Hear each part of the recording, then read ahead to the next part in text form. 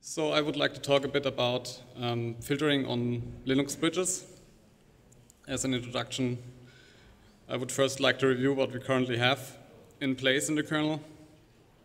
So the bridge module, basically just like the INET and IPv6 stack, places a couple of hook points at strategic places uh, in the bridge path. For instance, we have a bridge pre-routing, which is a bit of a misnomer because it should actually be a pre um, bridging code because the bridge obviously doesn't do routing. And um, just like the inet stack, we can register callbacks that are invoked at these locations. And the callbacks can then decide on what to do with the packet, just something like dropping or continuing on to the next rule. This is an overview. We have five hooks, just like with IPv4, IPv6. The only major difference is that if in the case of local delivery, the packet will obviously end up in the IPv4, IPv6 stack first, and we will also traverse the IP tables or IPv6 tables or NF tables um, IP rules. The current state with EB tables, which, which is the old tool that we have in place for filtering, is basically it was cloned off IP tables more than a decade ago and hasn't seen a lot of development since then. It only has a couple of stateless matches. For instance, you can match on VLAN ID or the packet type or the packet mark. And it has some rudimentary support for stateless uh, network address translation on the MAC addresses. There are no stateful matches, there is no connection tracking, nothing at all. And even worse, the EBTables code can't even call into generic Xtables targets or modules. So all the functionality that you, that you want in EBTables, you have to copy and paste into, the, into an EBTables module. What we do have instead is something that's called call IP tables. There is a module called BridgeNet Filter. And if you load that, then you can um, tell the bridge code to do an upcall into the generic IP or IPv6 um, net filter code path. The upside is that we gain access to all the functionality that we, that we have in IP tables, for instance, connection tracking and network address translation. But the downside is that there are actually many, many problems with that approach uh, especially some subtle race conditions and other things, because um, obviously the, the, IPv4 net filter path assumes that it's called from the IP path and not from the bridge path. So we have to do save and restore operations on the SKB control buffer because it's owned by the bridge layer and not by the INET layer. There are some usability issues. For instance, um, in EB tables, the input interface is the bridge port, and in IP tables, it will be the bridge itself, so the logical interface. There's VLAN is very messy because um, um, to do VLAN upcalls, we have to uh, to remove the VLAN header and software from the BridgeNet filter module and do the upcall. Uh, because a router, it does not care what VLAN is or what Ethernet is, it only looks at um, the network and transport headers.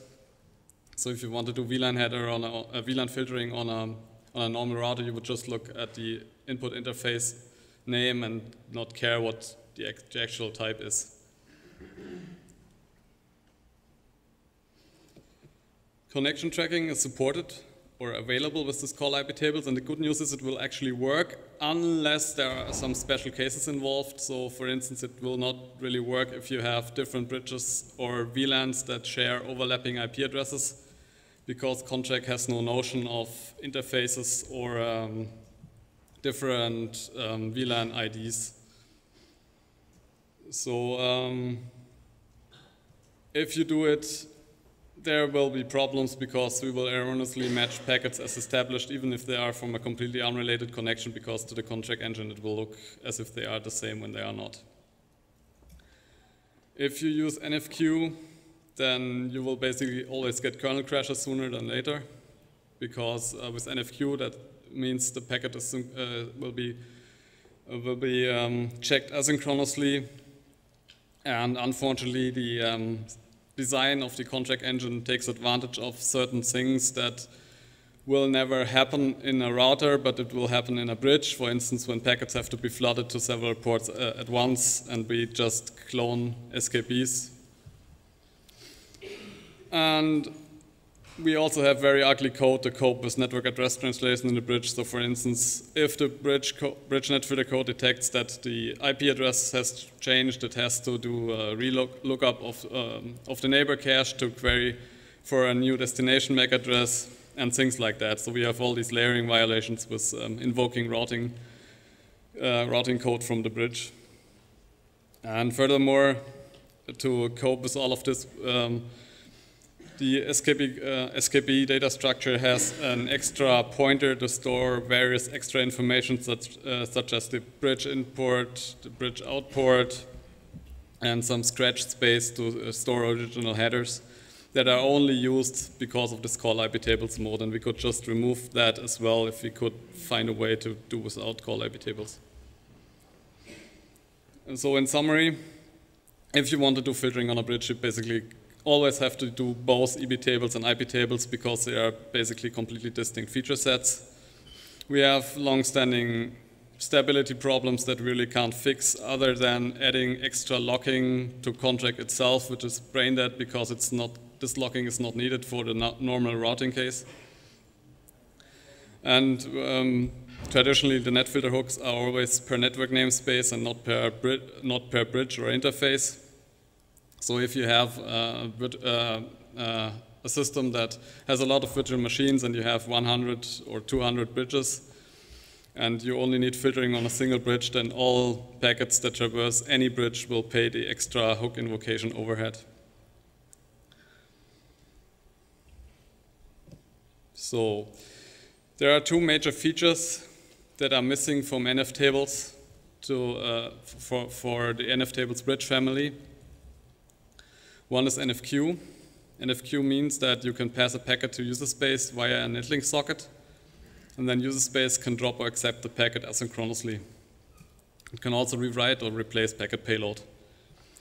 NFQ itself is a family agnostic, but there is a backend connect, uh, connected to it that is currently limited to IP or, or and IPv6 because the backend has to do things like check if user space changed the IP address and then it has to do rerouting and things like that.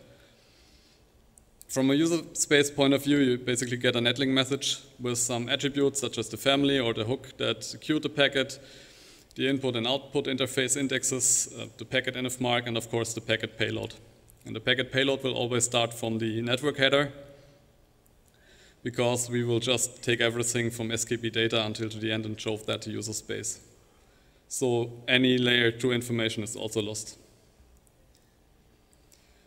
So to implement that for a bridge, the most simple solution would be to just push and pull the Ethernet header right before we um, create the netlink message to user space so that user space would simply see um, uh, a payload that starts with the, uh, with the Ethernet header instead of the network header.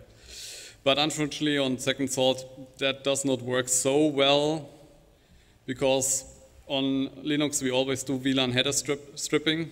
So if it's a VLAN, then user space would not see the VLAN header at all. So we would have to either untag and uh, stuff the VLAN header back, which is a bit of silly because we have to undo work that we already did. And we also can't really detect when uh, user space has changed the L2 header, such as in, inserted a new VLAN header or whatever, because we would have to pull a different amount of bytes back to fix up the um, SKB data pointer again. So, it's, uh, so it seems preferable to just add new netlink attributes for uh, storing the layer 2 header and the VLAN header. And the bonus point for doing that um, we would get basically native or ingress family support for free as well, because um, if we do NFQing on ingress, then obviously user space would have to implement all possible layer 2 headers to skip to the network header. But if we keep it as a separate attribute, then user space doesn't need to uh, know any special things about the layer 2 header, and it will basically just work. So the plan, as already said, just add new attributes and then uh, use SKB MAC header and push that to user space. For VLAN, we will do the, pretty much the same thing. So we will just serialize the metadata that is stored in the SKB instead of untagging. And that would later also allow user space to add or insert VLAN headers. So the kernel would just have to check, for instance, if there is a Uh, if, if, a, if a new VLAN attribute has appeared or if there's a VLAN attribute with a zero length to remove VLAN and so on. So while I don't plan to implement that at the moment, at least with that design, we would not prevent us in any way from later adding such support. Next problem, overlapping addresses. So originally I thought we might be able to solve that in, a, in an automatic way, but it turns out that it's not so nice to resolve these problems. Um, we can already partially work around it with IP tables with the conntrack target by stuffing the conntracks that have overlapping addresses into distinct zones. The zone is basically just a 16-bit identifier that is taken as an additional key when doing conntrack lookups. So even if the on-wire addresses are the same, a lookup would no longer find the other um, conflicting tuple. It requires manual setup, and it's not very efficient uh, when you have lots of VLANs because IP tables um, has linear evaluation. So if you have 1,000 VLANs and you want to stuff those in 1,000 distinct zones, you need 1,000 rules. But yeah, fortunately, we now have NF tables, and it's not really a problem with NF tables. So as I said, we could try an automatic extraction of the VLAN ID and use that as an initial key. But um, if, for instance, you would want to do connection tracking not with, v with VLAN, but with IP packets embedded, say, inside PPPoE frames, then you would have to do kernel changes, and that's not really nice. Furthermore, overlapping addresses could also happen with distinct bridges instead of just um, different VLANs, so that doesn't work either. So it doesn't seem too bad after all to just enforce manual configuration for this.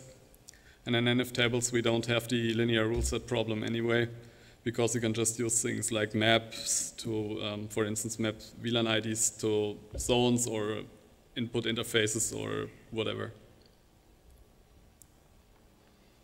For connection tracking on the bridge, uh, the plan is basically to add um, conntrack expression that serves as an uh, has um, two functions. So it, first of all, it would tell the kernel that it now has to do connection tracking in this uh, in the given hook.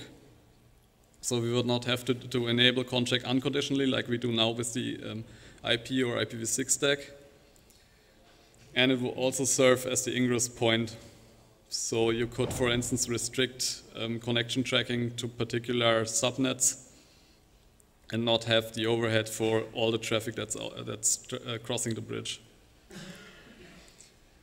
The problem is that um, you would still need some unconditional um, hooks for things like confirmation. Basically, the confirmation is um, for a new packet. We don't commit the conntrack to the main table right away, but we first remember it locally. And so that if the packet is going to be dropped, we don't have the overhead of committing it um, uh, to the full table. So the confirmation just happens at the end of the rule set traversal. If there was no drop, then we can put it into the table. But we also have things like helpers, and um, we have to detect, uh, have, we have to do things like detect when a packet is related to an existing connection that affects, for instance, IPv4 path MTU.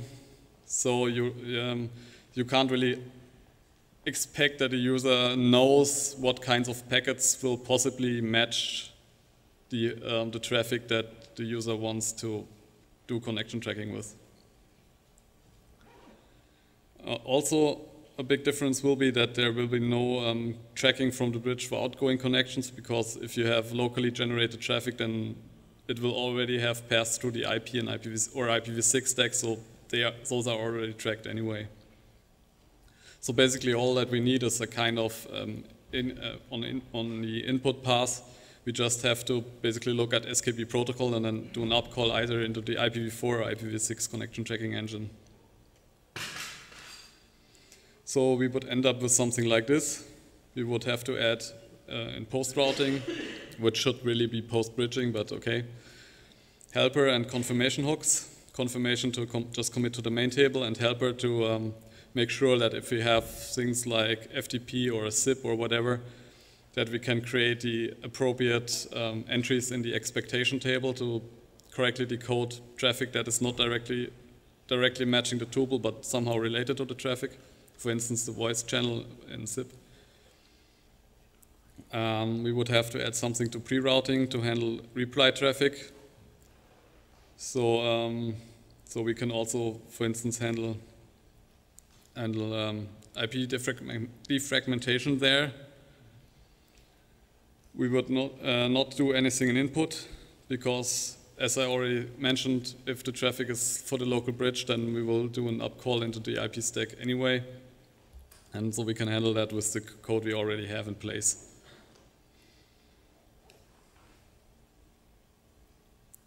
So one question that we are, we are sometimes confronted with is how you can disable defragmentation on a particular interface.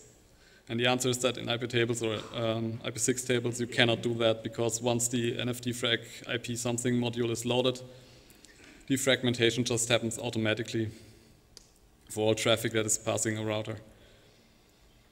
And um, in IPv4 and IPv6, um, there is a phony pseudo dependency from conntrack on defragmentation. So if you load the conntrack module, the defrag module is loaded automatically as well, although there is no technical, strict technical reason for doing that. We just have to do that to make sure that we can correctly look up any uh, transport header. Because if you wouldn't do defragmentation and you have fragments, then you can't tell if they match any traffic that you already have on the conntrack table. So um, we kind of have this conflict between usability and have it automatically and configurability with, uh, to do things like I don't want defragmentation on this particular interface. So the best idea so far to get out of this is to also add a defrag expression so uh, that users could, for instance, say, please do not do um, please only do defragmentation if, it's, if the packet is not arriving on a particular interface. So um, do, depending fully on this, however, doesn't really play nice with conntrack-related handling because, um, as I already said, if you have a fragment, then you have no idea if it matches an expectation or an, existing connection. So um, it seems best to basically um, add such an, a defrag expression so that if you do not, do not need conntrack at all and, for instance, just want to do NFQ, then you can use the defrag expression to have a fully programmable um, defragmentation process, but once you uh, depend on conntrack and ask for connection tracking, then the defrag would still be forced on by default everywhere, because as I already said, if we don't do it, we will end up in situations where we can't match packets to conntrack entries. So what's pending? I'm currently in the process of implementing this as outlined uh, in the slides. And I will try to avoid um, dependencies. So if you do um, connection tracking on the bridge, it will not auto-load, for instance, the IPv6 conntrack module, and it will depend on the user to load the appropriate la layer 3 tracker. Um, I'm not planning to add NAT support because once you do a network address translation on a bridge, you always force the user to also add um, a full routing table so that we can figure out where to send the packet to. For instance, if you do NAT, it could mean that the packet has to leave not via the bridge, but via some completely unrelated interface.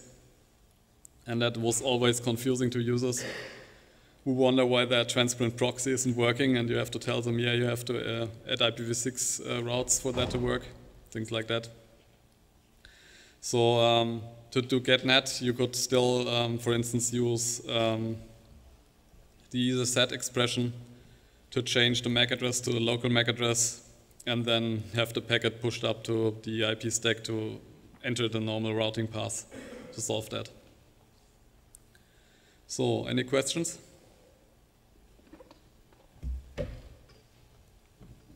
Yeah. I will try to repeat the question.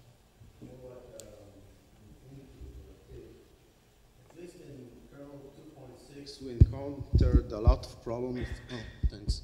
Uh, um, uh, at least with kernel 2.6, we encountered a lot of problems when um, users would open a lot of uh, SIP connections and the connection tracking uh, SIP by default would, I don't remember the, the limit for the connections, but the, the timeout for removing the connections from the connection tracking table would be something like one hour or five hours, something really humongous, and we would just end up that because we had so many SIP calls, we just start to run out of uh, connections in the connection tracker, and we just drop SIP, SIP calls. And uh, just want to give you as a tip, if, if you're gonna get it again into you know uh, making connection tracking for SIP calls, uh, try not to get into this pitfall and limit the timeout to something more reasonable than hours, something like you know one minute. Make the default, uh, you know, the syscontrol default for the number of connection tracking big enough, and uh, just you know maybe think of so, some maybe better plan to handle the case when you run out of connection tracking. Maybe bypass the connection tracking rather than drop SIP calls. Yeah, okay, we could check the behavior of the early drop code, but I would have to revisit that. You can, you can also, um, there is a timeout infrastructure, so you can specify different timeouts to, you can specify a, a timeout policy for traffic that you need. We have CT timeout thing, probably it's going to um, avoid the problems that you are noticing with high timeouts while keeping the same the default timeouts for the remaining flows. Yeah, there, there, we, we had the, there are sys controls that we use to, to bypass it. But uh, I'm just giving you the tip because sometimes when you start implementing stuff, you do not suspect when you uh, launch a product out that this is the result. And, and you go out and then suddenly you get into you know, uh, some situation where a combination of uh, a few conditions um, make the, you know, uh, the, the product dysfunctional to, to some. And the, the tip is not how, you know, I'm not looking at how to bypass it and just how to correctly design the system in ahead to prevent new users or new programmers who are not aware of uh, exactly how things are implemented in a Linux kernel to get in the same pitfall again. So this is mainly that. Yeah, then, then if I understand correctly, the problem is with the SIP, the SIP helper, right? Yeah. So the, the, the, it will be good to debug um, what um, to debug the C helper and with with the product that is interacting with it to see what is not not not being interpreted the right way. I mean, the SIP proxy is basically parsing the SIP messages It's a quite intensive task. It's string matching, and so um, probably there is something in the in, in some of the uh, cell phone or hard phones that you're using, or or PBX that is not is not uh, that that the that the helper is not liking for some reason. So it, it would be good to to debug um, to to get to the SIP problem that is causing the problem and debug the, the helper and, and find the reason so we can fix it. No, what, what, what I mean is even if, if the SIP is okay, I mean, there is an automatic tracking. And, and once you start tracking SIP calls, they are allocated uh, one con uh, connection tracking uh, entry in the table. And then it stays there for at least one hour. I don't remember the exact timeout. Even if everything is okay, and then you make another call, another call, and, and table just start to grow until you run out of uh, uh, entries, connection tracking entries. And then the next SIP call you want to open, there are no more uh, free entries to add to the tables. We just have to drop calls.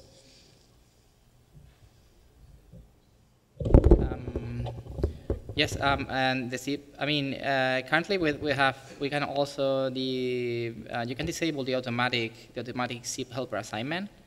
Uh, there is a proc entry that is currently enabled by default. And the plan is to, because of problems that Eric Leblond and other people um, found on this automatic helper thing uh, from a security point of view, the plan, it's been already uh, enabled, this behavior, the behavior that we have, it's been enabled for already quite a long time. So the plan is to disable that behavior. So user has to explicitly indicate what helper they need for what kind of flows. Is that what you need?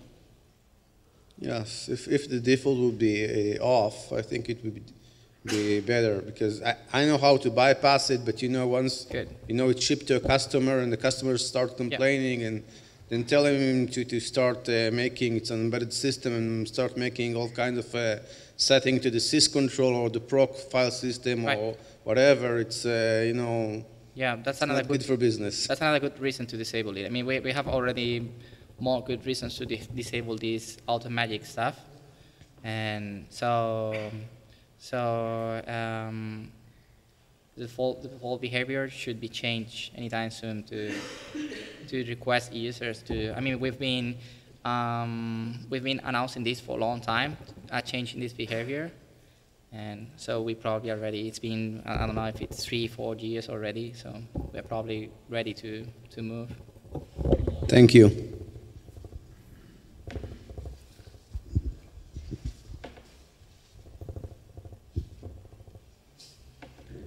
So any other question? Okay, thank you, Florian.